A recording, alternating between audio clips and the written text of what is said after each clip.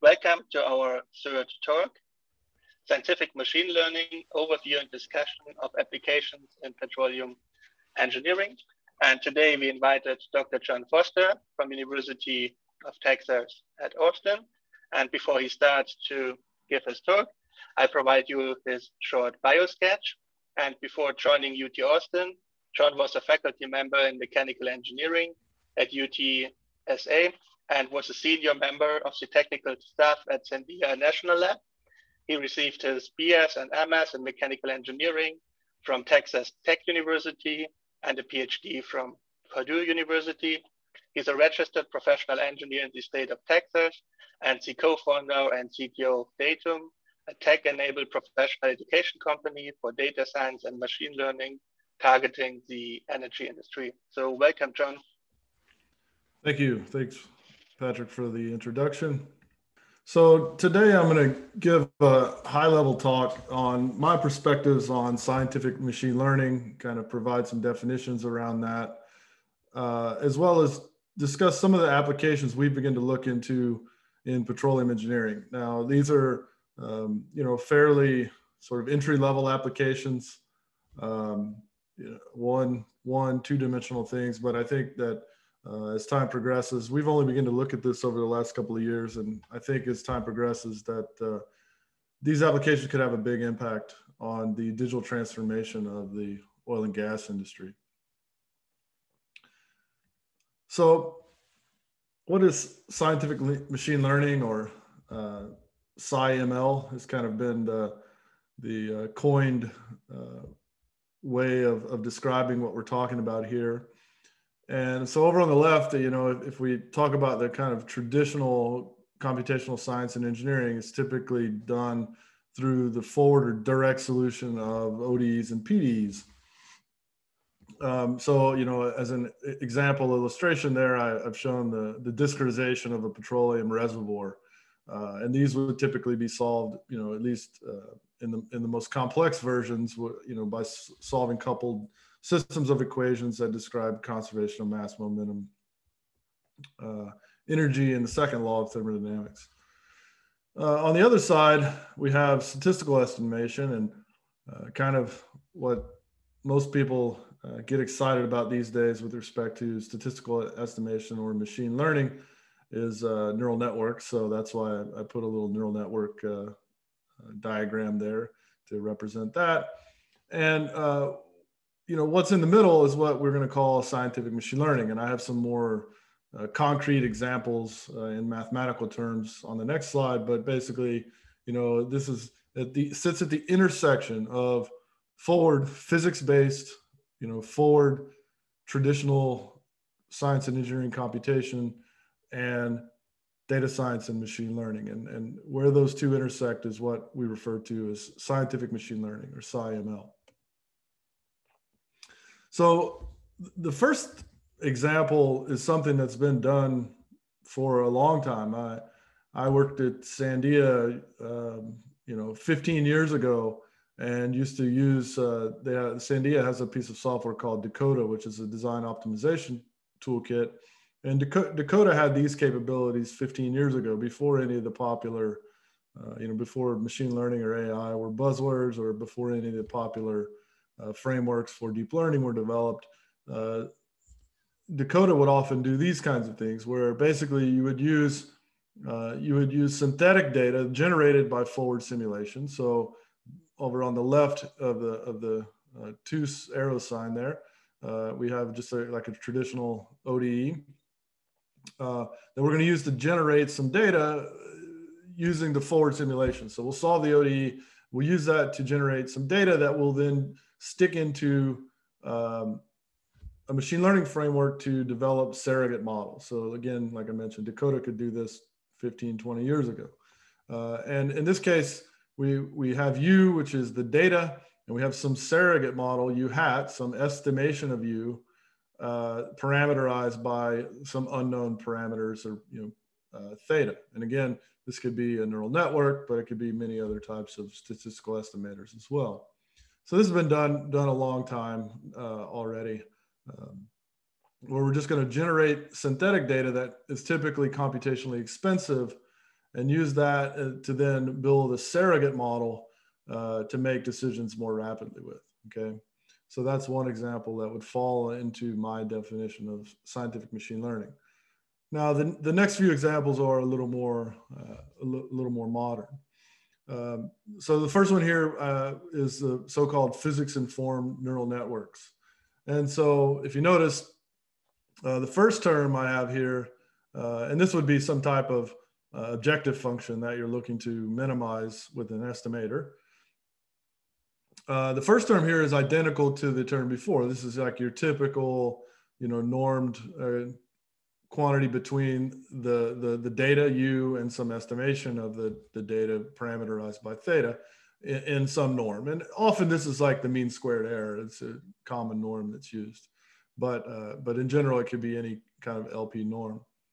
Uh, when in a physics informed neural network, we, we add to the objective function the balance law, right? So if you notice th this is just a, a, rewritten form of this ODE up here, in which case we're now uh, forcing the, the estimated U uh, to also satisfy the balance law again, and with you know some some norm norm quality quantity. Um, and this has become popular over the last few years and uh, have gained a lot of um, interest in the kind of traditional comput computational mechanics literature um, and sh have shown some utility. And I have more to say about these in the future uh, in some in some slides. We've we've looked at these to some extent, so uh, I think I'll save uh, save any further discussion of those until later. Um, there's also this so-called uh, neural differential equations, where basically on the right-hand side of the equation, you replace the right-hand side of the equation with some estimator, or again, neural network, in this case, parameterized by the weights and biases theta. Um, or uh, maybe the most general form here is what we would, or what's been termed a universal differential equation. And that is, uh, in addition to, you know, just representing the entire uh, right-hand side of the balance law with the neural network, we could have maybe only a partial component of the right-hand side represented with the neural network, and otherwise keep our traditional functions of u. And this could be like f could represent some differential operator on u, where the neural network, for example, could be some constitutive model. And, and also have a, a, an example of that as well. So I have more to say about all these. But these kind of uh, encompass some of the ideas that we're talking about when I say scientific machine learning. So I'm going to start uh, with my favorite example, uh, uh, and the reason is I'm going to refer to some literature on this, and they use these equations, but they didn't get to use the emoji versions that I created here. Uh, and I just cannot resist putting emoji equations in my slides. So uh, the other thing I, I, like about these equations is, you know, despite the, the what my uh, my emojis in them, is that the, the, the dynamics of these uh, equations are easy to understand. So these are the Lotka-Volterra equations, and they're used often in ecological models to uh, represent species dynamics. And the reason I say they're e easy to understand is uh, if you if you say were to just um, neglect the coupling terms, so the beta and the delta term in these two in the two equations, uh, such that they were decoupled, what these equations would say is that the time rate of change of of uh, rabbits in, in the ecological environment would increase exponentially, right? Uh, if there were if there were no coupling, rabbits would just continue to to increase, and likewise, uh, if there were no coupling, uh, you know, if there were no rabbits to eat, well, if there were wolves in an isolated um, environment, or foxes rather, in an isolated environment, then those would just decay exponentially, right? Uh, but we have these two coupling terms that couple, and so any exponential growth in rabbits is is is um, is regulated by the fact that the foxes eat the rabbits, eat some of the rabbits, and uh, and and then likewise, you know the the the exponential die off of of the the foxes is is regulated by the fact that they have food that is rabbits, right? And uh, these equations have interesting dynamics.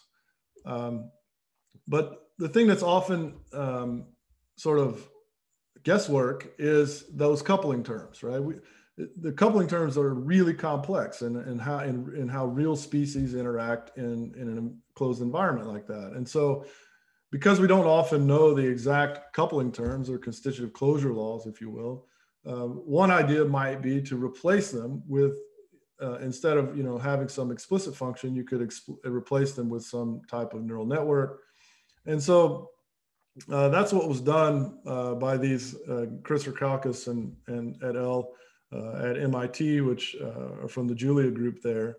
Um, and and they that's where they termed this or coined this uh, phrase universal differential equations for scientific machine learning. So again, if you notice, they didn't replace the entire right hand side with neural networks, just these coupling terms between the rabbits and foxes. And what's interesting about this is if then you train, uh, so you, you use the real solution of the equations to create some training data to train those neural network coupling terms, then they can predict into the future uh, quite well. And so what you'll notice here is that because of these species dynamics equations, you, know, the, the, the number of, in, case, in their case, they use X and Y, but they represent rabbits and foxes, right? So the number of rabbits increase until the foxes eat them. And, uh, and then the foxes, they, there's some delay, the foxes increase. Uh, and then they, they begin, they've eaten too many rabbits, so they begin to die off and you get these oscillatory behaviors, okay? Well, again, notice that the training data doesn't include any of this oscillatory behavior, but uh, the fact that uh, you know the the the physics uh, part, you know the the, the balance laws include uh, those exponential decay decay and and um, die off terms, uh, then you know by just a small amount of training data, this model can actually predict into the future quite well. So all they have to do is learn those the neural network parameters from this small amount of data, and then they can predict into the future, and it and it works quite well. Okay. So I uh, also want to just point out that the Rackauckas and the Julia guys uh, have done a lot to promote this term sci- scientific machine learning as well. They, they actually have a website, sciml.ai, I believe, and uh, where they're kind of reporting on a lot of their progress within the Julia programming language uh, towards uh, solving these types of problems. Uh, another thing I like about their paper is, you know, if they, they said, uh, if a picture is worth a thousand words, then a model is worth a thousand data sets. And, and I firmly believe that. So I know there's been a lot of uh, kind of uh, excitement around AI and, and uh, machine learning and science and engineering. But, uh, you know, I'm going to caution that you don't throw away the part we, we do know. I mean, the, the reality is the, the balance laws often do work. And, and it's really just the constitutive models where the uncertainty is. And so if we can, you know, use the balance laws where we know they're valid and, uh, you know, basically then just use statistical estimation to help us with the constitutive model aspects, then we can you know do a lot more with a lot less data than is needed right uh, less data than is needed otherwise to to train machine learning models so uh, to kind of switch gears or motivate why some of this might work in petroleum engineering we'll start with the most fundamental equation in petroleum engineering and that is the pressure diffusivity equation. So this equation uh, governs single phase flow uh, for slightly compressible fluid in a porous media with permeability uh, kappa, uh, again, compressibility C, density rho, the fluid pressure would be uh, uh, P. And so this is often, it's also used for, you know, flow and aquifers and other things like that, right? So this is kind of the fundamental first thing we learn in uh, in petroleum engineering and doing reservoir simulation, single phase flow or pressure diffusivity equation. And often when we uh, learn this in the context of reservoir simulation, we immediately uh, learn some numerical solutions to that. And one of the most common ways to do that would be to just finite difference the the spatial derivative over here. And so now I have an equation that's in the form of, of the ones that I wrote previously, right? Uh, basically, we want to, the time rate of change of the pressure is approximately equal to this. We have an ODE because we've spatially discretized the, the, the partial derivative in pressure term. And so, switching gears for just a minute, I'll come back to that equation, but let's look at what a convolutional neural network does, right? So uh, in, in this case, you know, convolutional neural networks are often used in image processing because they're good at kind of picking up structural features in images. And they work by passing a, a filter uh, or window function over the images. And so this the, the green ones and zeros would basically represent pixels in an image in this case. And you're passing over uh, that uh, window function. And the window function has this kind of stencil. So basically, um, you know, it's one zero one zero one zero one zero one, and as it passes over, if you have a, a one and a one, then uh, you know that's that's set to uh, the one and the one are multiplied together, so you have a one. Otherwise, you know, if you have a one and a zero, they're they're multiplied to zero, and then all of those are summed in to what's what you see on the right, right? So as this stencil passes over, then you get this convolved feature on the right, right here, right? So this is kind of what I want to take away. So in this particular example, the stencil looks like this, but more generically, you could imagine a stencil that has, you know, arbitrary weights. So if we if we return or take this idea and we return to our uh, single phase flow equation that we discretized, we might imagine that that spatial derivative term or the discretization of that spatial derivative term is nothing more than a window function that is you could treat like a convolutional neural network where the weights are then one minus two one. And so, you know, the, the idea would be, could we treat the right-hand side or the partial derivative term in this case as a convolutional neural network? And of course we can, we, this has been done quite a bit. And what you'll see in those is that the, the neural network is actually learning the differential operator, right? It learns the stencil. So you can actually go and people that have done this and uh, you can inspect the weights and biases of these types of uh, things and and see that eventually the, the, the, neural network kind of is just learning the differential operator, right? Well, again, we know these balance laws work, so why why waste all the energy learning the differential operator? Rather, uh, let's let you can use some of that um, computational time to learn the things we don't know, right? Um, so yeah, that's just uh, to kind of finish that thought there. So this is one example in petroleum engineering at a very high level. And so for what I'm going to switch into now are some, some concrete examples of real problems that we've looked at uh, in various settings uh, in, in petroleum engineering using these ideas from scientific machine learning. So the first one, uh, maybe not specific to petroleum engineering, but could have applications in, in uh, seismic inversion and other things. And that's uh, looking at the elastodynamics of heterogeneous materials, right? So in this case, we have an idealized heterogeneous material. It's just a one-dimensional bar that has some type of microstructure, right? And so, you know, just to make things easy, we, we're going to say that, you know, basically every unit cell of the bar has, has some periodic microstructure that looks like this, and it has alternating material properties uh, of stiff and compliant structure. So the dark areas would be stiff and the light areas are compliant. And this repeats throughout the bar, right? Now, our petroleum reservoirs are on the order of, you know, kilometers large. And if we were to try to say, uh, and of course they're heterogeneous. So if we were to try to go down to, you know, the grain size uh, of the rock to try to distinguish between all the different materials, well, we would never be able to solve a very large problem on the scale of kilometers. So what we would like to have is some type of representative model. um, excuse me, I'm taking a drink.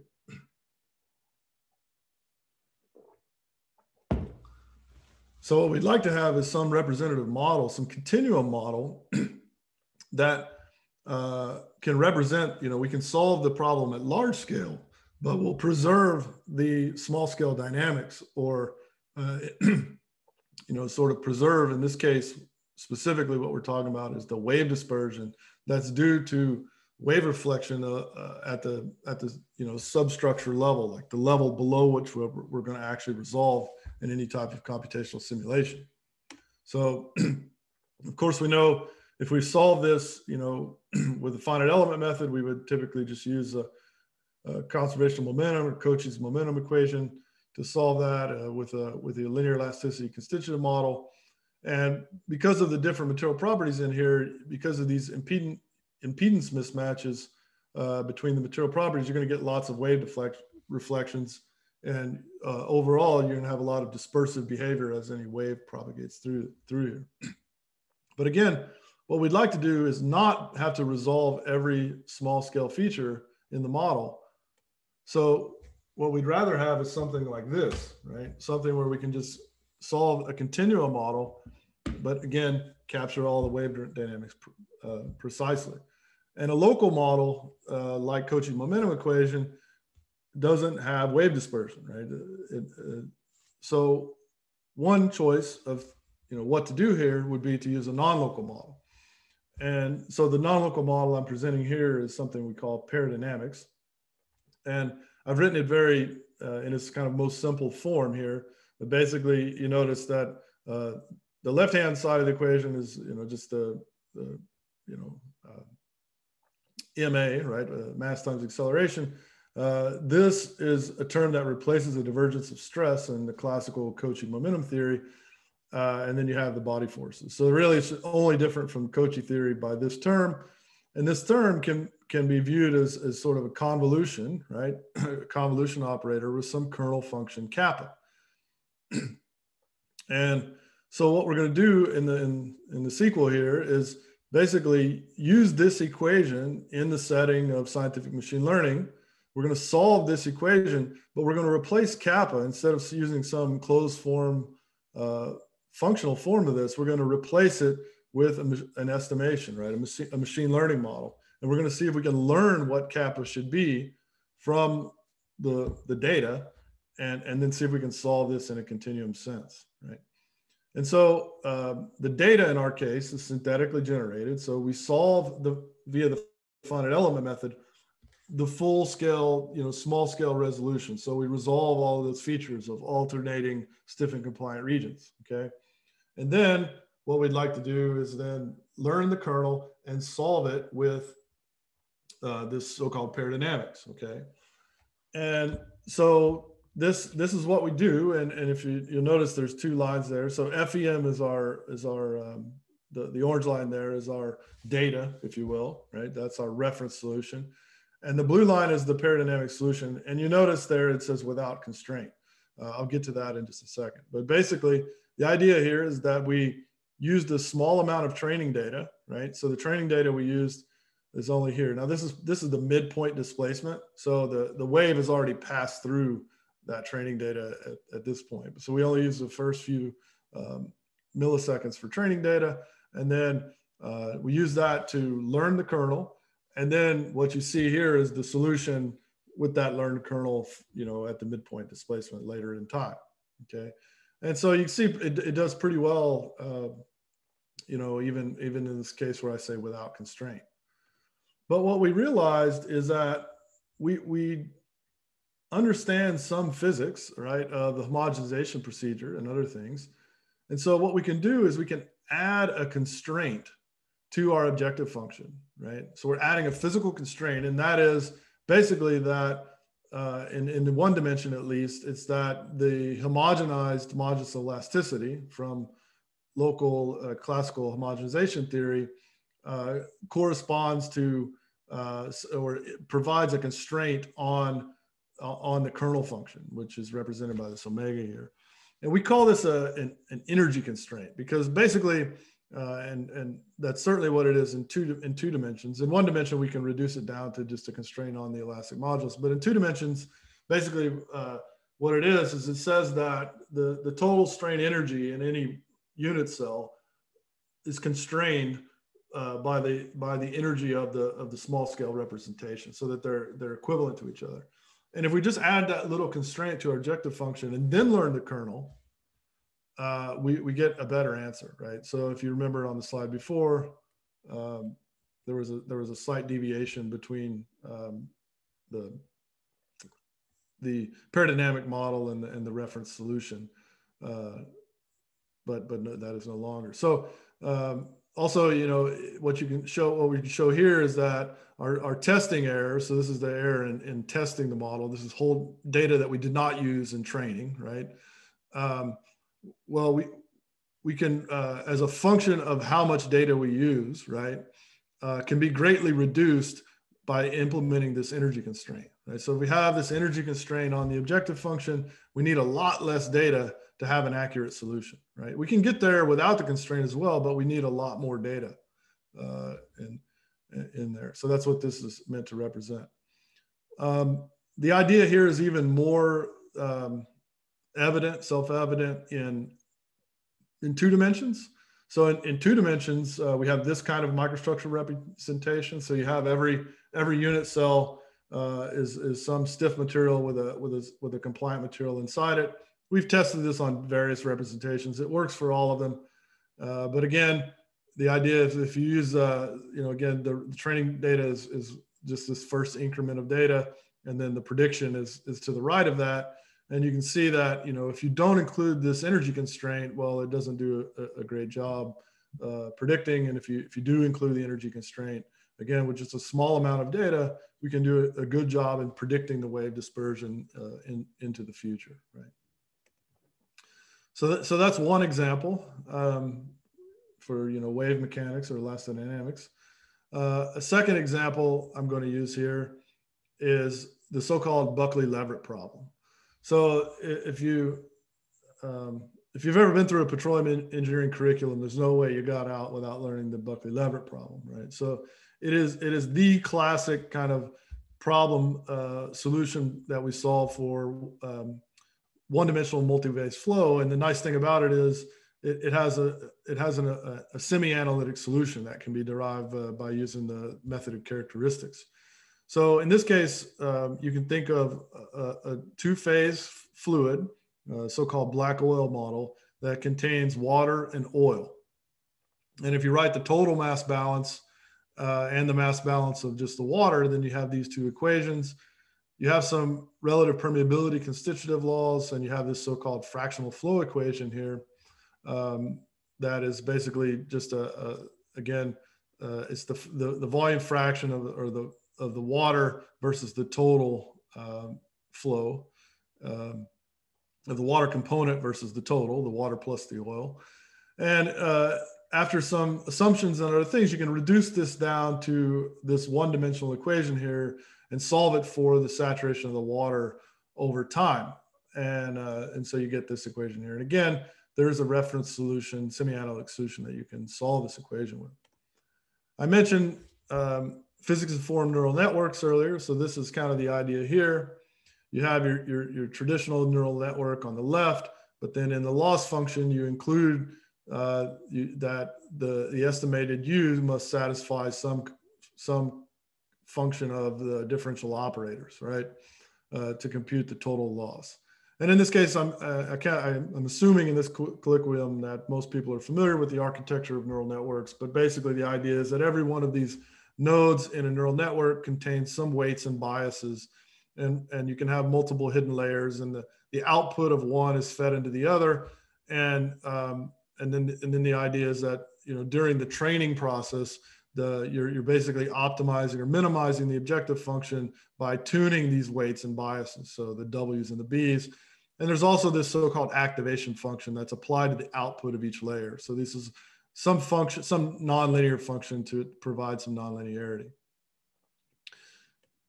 So uh, a group out of stanford looked at this. I mean i think it's just a, the appropriate thing to do if you're going to look at using physics informed neural networks or any new technology in petroleum engineering uh, to apply it to the Buckley-Leverett problem because it's, it's such an important problem.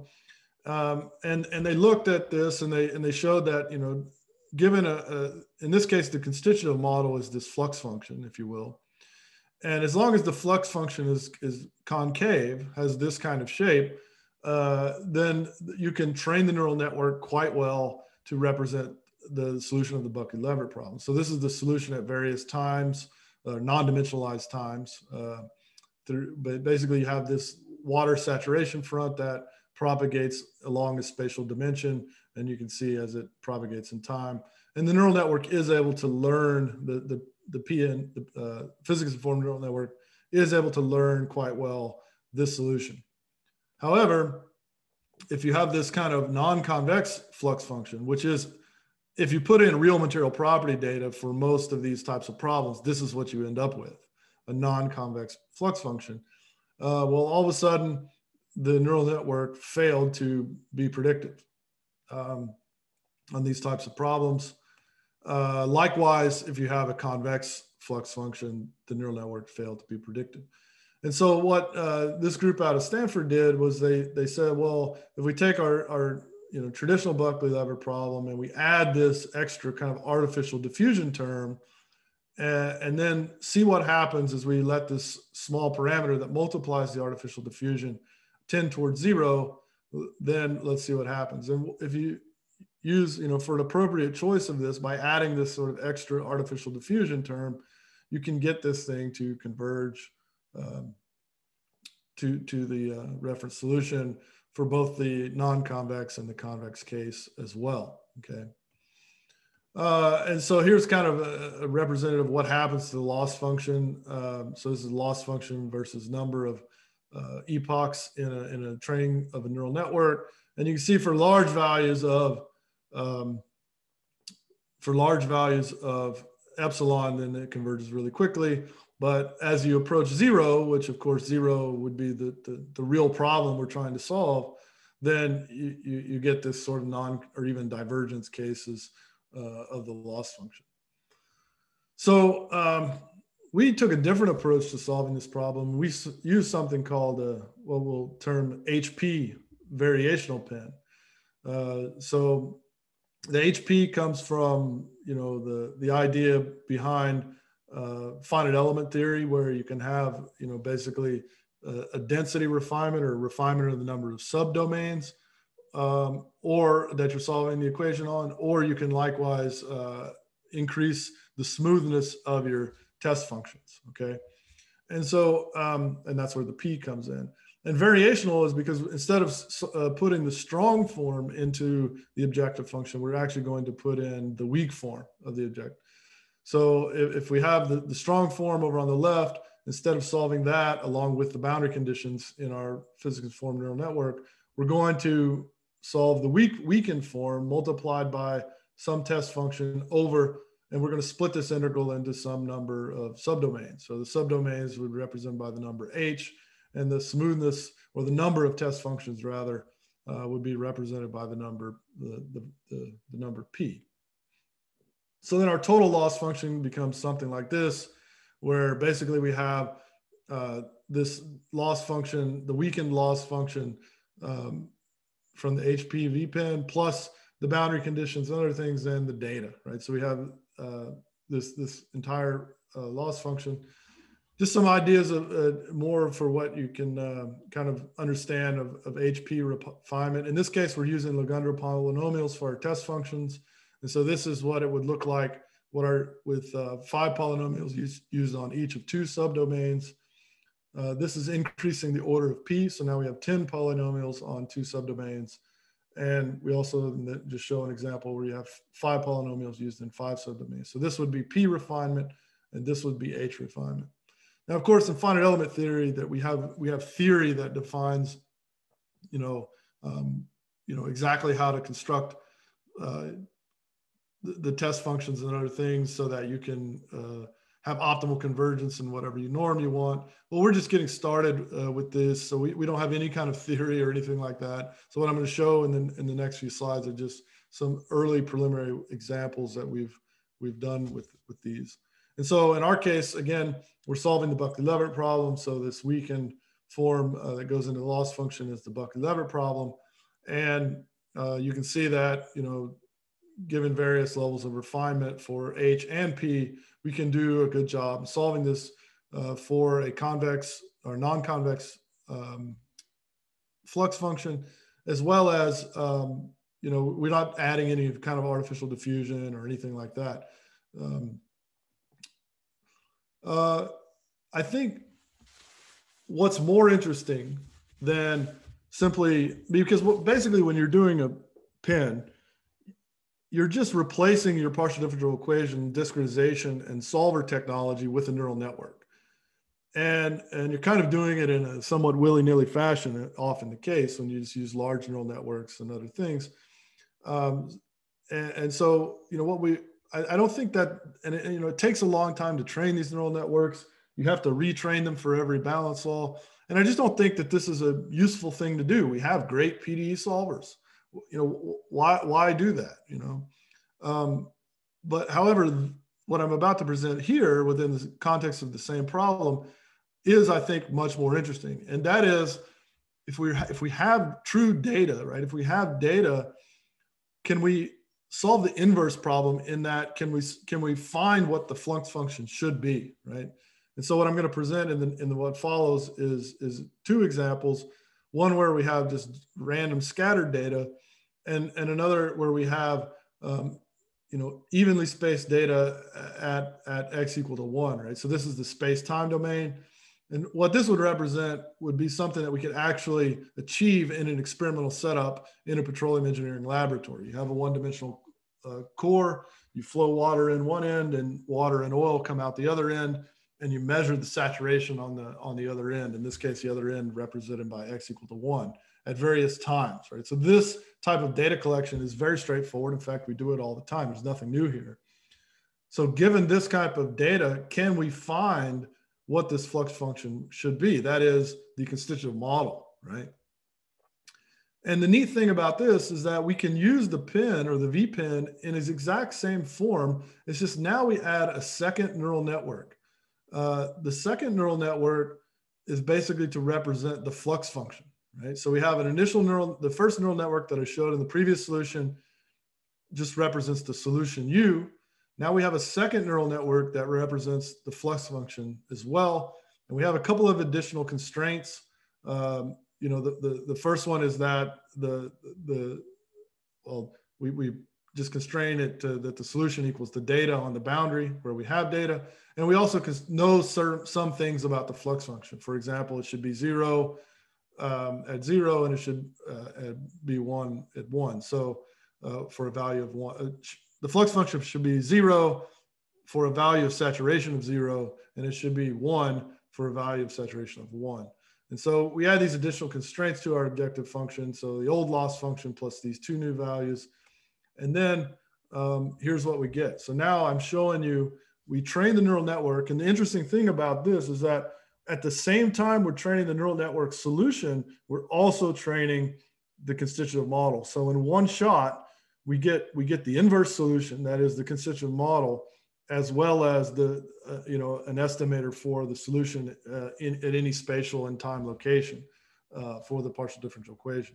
And you can see it works. It works for the scattered data case, and it also works for the, the case where all of the data would just be taken on one end of the sample, again, data that we typically collect in a petroleum engineering laboratory. So I think this is a lot more useful thing to do than to, than just uh, straight PINNs is that, you know, use it for inverse problem solving um, uh, where we have it, okay? So along, along those ideas, I want to switch gears for just a second to talk about some computational considerations, and then we'll kind of revisit a similar inverse type problem, right? So let's let's imagine our single phase flow problem from before, uh, where you know this is the equation, except before we had a, a, kappa over mu or something we call the mobility that sits right here. So that is the constitutive relationship, right? And and we want to basically learn the parameters theta that minimize this overall objective function, where the data and the solution of the the balance law agree with each other, right? In, in some norm quality quantity. Well, to do that, right, we have to, to find the theta, we have to basically compute the gradients of this loss function with respect to theta. But notice there's a, there's a, there's a, there's a derivative term here, right? And, and there's a, there's a spatial derivative and there's a time derivative, which means we have to compute derivatives with respect to theta through the solution of the differential equation, right? And there's no readily available tool set to do that. We can't just we can't just compute gradients through the solution of Abaqus, right? I mean, Abaqus being the finite uh, common finite element solver, commercial finite element solver, right? We can't just stick a neural network in the middle of it and compute gradients through it. I mean, you might imagine doing it through some type of um, finite differencing scheme, or you'd have to write your own adjoint, which is often done. But uh, the nice thing about you know, the re- one of the reasons that neural networks are so popular right now is because there's really great frameworks to work with them, construct them, and to and to train them, right? And and namely, what I'm talking about are you know the the TensorFlows and PyTorches of the world. Um, you know, some great ones in the Julia community too, uh, uh, Flux, for example. And what I'm going to show in the next few slides is, is JAX, right? So if you're familiar with Python uh, as a programming language, um, uh, of course, TensorFlow is the neural network framework from uh, from uh, Google and PyTorch is Facebook's, but the Google uh, Alpha, the Brain guys,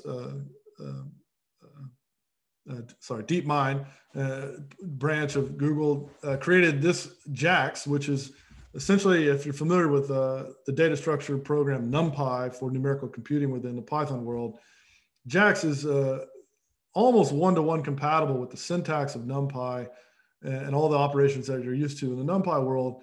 But what it also allows it for all the computations to be done on GPUs, along with uh, compiled to run on GPUs, al- along with automatic differentiation, right? So I can take, you know, any function and compute gradients with respect to that function. Um, again, compiled and on GPUs, so you know really fast. And so, um, what we could do is instead of you know trying to use uh, some off-the-shelf tools, we could write our own finite element solver, for example, within one of these neural network frameworks and then do everything within the neural network framework to to try to say to learn what some constituent model would be. And you know I, I, know in academia we're supposed to write papers but since this includes so much code i decided to write a blog post about it instead. You can find it here johnfoster.pg.utexas.edu and all of the code uh, for what i'm about to show you is there. It's you know you can download it as a jupyter notebook and run it on your own computer. But I mean, here's the beauty of, of JAX. So if I if I if I write a finite element solver, if I write a finite element model for my single phase flow um, equation, and I write it in residual form. So in this case, I have a function that just takes some values of p and returns the residual values of that function, right? Well, I can basically write my own Newton solver within this JAX framework very simply. I mean, by by basically just I just call this Jacobian forward on that function. And that automatically constructs the tangent stiffness matrix for me. And then I can just pass that into, uh, you know, a linear solver. And all of this, you know, you notice everything has JAX as a, a sort of a namespace. All of this is automatically differentiable. So this is one step, you know, so this is just one step of a nonlinear solver in my Newton iteration. And I can do this, you know, and then I can compute gradients through the nonlinear solver, uh, you know, to train my neural network. And so uh, again, this is just JAX is NumPy plus SciPy with GPU, TPU acceleration, just-in-time compilation, and automatic differentiation. And so here at my blog, you can find all the code for this problem as a representative uh, model. And so what, I, what I'm going to show you here is um, on the left-hand side, is the solution to the forward equation, right? So given this constitutive model, this mobility function, kappa over mu in my single phase flow equation, this is the solution to the equation using the finite element method. And so what I then do is I take that same code that I use to generate the forward solution, and instead of putting in a, a smooth function like this for uh, the mobility function, I just replace it with a neural network. And in this case, it's a tiny neural network. It, it only has four, four nodes in a single hidden layer. It uses a tanh activation function. And I embed that inside the solution of, you know, inside my finite element solver that was all written in JAX. And then I can just pass that over and have it trained. And you can see that the trained neural network then represents uh, the true solution, you know, the, the, the actual, you know, it learned the constitutive model quite well. And the benefit of this is that once we have this learned solution, then we can use our standard finite element solution technology to solve the problem with different boundary conditions, right? So going back or contrasting this with your physics informed neural networks, every time you you solve those, which again, the solution, the, the training process takes a significant amount of time, much longer than any standard partial differential equation solver would take if you change the boundary conditions, you have to go through the whole learning process again, right? In this case, we've only used the neural network to re represent the constitutive model. We've embedded inside a standard finite element solver, albeit one that I wrote from scratch, I mean, but the, the methodology is standard. Um, and, and, and then, you know, once we have the model, once we have the learned model, then we can solve the problem with different boundary conditions. So for example, if I change the, you know, change the boundary conditions using the same neural network, then here's the solution, um, you know, with the two problems. So using the functional form and using the neural network with different boundary conditions, I get the same exact solution, right? And again, uh, this is very fast. Everything happens quite nicely. So I think in, in summary, uh, I just kind of showed some high level examples there, but in summary, with SciML models, we can learn with small data. You know, uh, I think my last example illustrates that quite well in, in that, you know, it's a very small neural network uh, that we uh, that, that we need to train there. And because it, it's small, we can, you know, it can be interpretable. You know, a typical neural network that you'd use in a PINN would have, you know, several hidden layers and possibly hundreds of nodes, each which contain their own weights and bias terms. And you know, if you tried to look at what the functional form of those equations are, uh, it's very, very difficult to, to have any kind of interpretability. But with these small, small neural network models embedded inside traditional solvers, um, you know, we can we can just essentially expand out the terms of the model and and uh, and look at the and you know have some visual representation of exactly what the physics of the equation of the constitutive equation are. And, and like several of the examples that I've shown here, we can extrapolate well as, as well because we have the balance law as part of the solution technology here. Uh, in summary, I'd just like to, we have a, a, consortium that I'm a member of at, uh, or, or co-PI on at, at, UT called DIRECT. That's uh, digital reservoir characterization technology. And um, you know, we have some sponsors that I list there, as well as uh, I have some additional sponsorship from Sandia National Laboratories. If you'd like to learn more about Direct, uh, here myself and the co-PIs that work on that, you can find more information about what we do in there uh, with uh, uh direct.pge.utexas.edu. And, and again, that is a, this is a consortium that's dedicated to looking at data science and machine learning applications in petroleum engineering.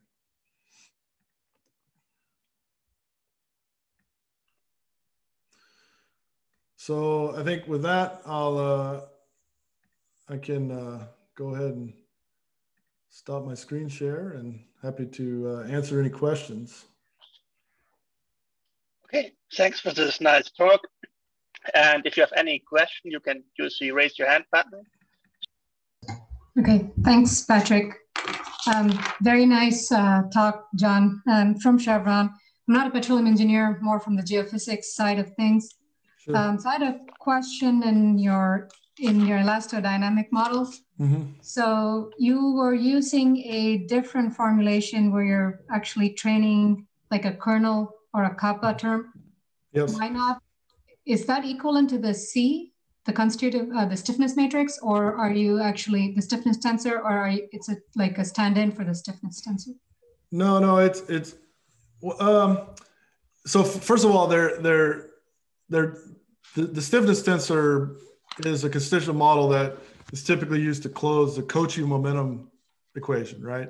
That's mm-hmm. a that's a local equation in the sense that you know it's it's it's uh, pointwise local, and, and the the mathematical solution of that equation does not have any dispersion in it, right? Mm-hmm. So so uh, you know the, those local solutions are not dispersive in any way. What we wanted was a model that has dispersion sort of built into it. So, so we mm-hmm. use that this non-local model called peridynamics, mm-hmm. which is actually a generalization of the Cauchy momentum equation. We can show in closed form that as the region of integration in that equation shrinks to a point, you recover the Cauchy momentum equation for appropriate choice of constitutive model. And so the, the, the kernel that we were learning in that model is not the same thing as the stiffness tensor, but it's if, if you want to if you want to say it's the non-local analog it's the peridynamic analog of the stiffness tensor but in addition to into having the, the you know the, the sort of elastic uh, moduli and other things in there it, it also has information embedded in it about the dispersive properties of the homogenized material Mm-hmm. So I hope that answers okay. your question. So in learning Kappa, we're not only learning the, the elasticity relationships, mm-hmm. we're also learning the dispersive relationships, again, of the homogenized model, because we're not going to model every, you know, to, to capture all the wave reflections and whatnot, we're not going to model every single grain in a reservoir, right? We, we need to do this at very large scales to, to have any hope to actually solve anything, right? Okay, so this would actually be more correct than just using like a fixed C, right? Uh, In some sense of capturing the the underlying. It'd be more more correct in this in the sense that I mean, Cauchy momentum equation is, valid if you can model every single heterogeneous property in the reservoir, which is impossible, right? So right. It, it, I'm not going to say it's more correct than this, the Cauchy momentum equation. It's it's more correct uh, of a homogenized continuum, right? A continuum that is dispersive. We know that from experimental measurements, right? Uh, so it's it's it's more correct because we, we capture the dispersive behavior pro, uh, correctly. Okay, thank you. So while we wait for more questions, I'd like to ask one. So part of this colloquium is how high performance computing could enhance or give some benefit for machine learning techniques. So what would be your take on that, John? Oh, I, I, I, don't, I could have a lot to say about that. Uh, th this is actually, um, I guess, a source of frustration and inspiration. So, you know, um, all of the popular machine learning frameworks uh, have done a great job at you know promoting this kind of array computing and and and basically they abstract away the the accelerated computing. That is if it's a gpu or tpu they they they abstract that away from your, your traditional api right? The user doesn't he can write his code to run on his local laptop and then he can productionize it to run on a GPU or TPU without changing the code at all because the framework is aware of that, right? Uh, as well as, you know, so where can high performance computing come in is in, in our typical high performance computing environments, we are typically not just interested in running on a single GPU, that is useful, but we're also looking at distributed algorithms, right? Because often our problems are too big to fit in the memory of one GPU uh, or and so we often our traditional clusters are you know InfiniBand connected MPI based type things, right? And none of the frameworks have good support for that technology. Some of them have limited support for the distributed computing, and more than that, none of them have optimizers that'll support that kind of technology. And quite frankly, the optimizers aren't really what we'd want to use for scientific computing anyway. We want to use some Newton or quasi Newton method the best that they have in, in, say PyTorch is like your your second order BFGS type minimizer. So two things high performance computing can do is you know we we and and honestly I really believe we should be working with Facebook and Google. They have a stranglehold on it, and if we really want to sort of take advantage of what they're doing, we should be working in PyTorch and JAX and TensorFlow and working with those guys and not developing our own frameworks and some other technology which is I know what we're going to do. But nevertheless, that's that's my soapbox. Uh, we need solvers that can work with these frameworks on distributed uh, computing environments that would also allow for the, the, the, local acceleration, of course. Of course, that's the kind of built into the frameworks, and we could borrow a lot of that. But we need distributed solvers. We need second order solvers, second order optimizers, Newton, quasi Newton type optimizers uh, that work within the technology of, of, this. So GPU acceleration, array computing, and and and automatic differentiation everywhere, right? So, okay. um, and you know, I, I think really um, in this kind of landscape, in my personal opinion, the Julia guys are doing the best job of integrating everything, but but the user community is just not as large, right? Uh, you know, it's just not as popular in general uh, of a language yet. It may be one day that we all use Julia instead of Python, but right now, you know, Python's eating the machine learning world, and and uh, so yeah, we need we need second order solvers. We need distributed computing uh, within that within those frameworks. Okay, thank you. Do we have more questions for John in the chat, or does someone want to ask one question?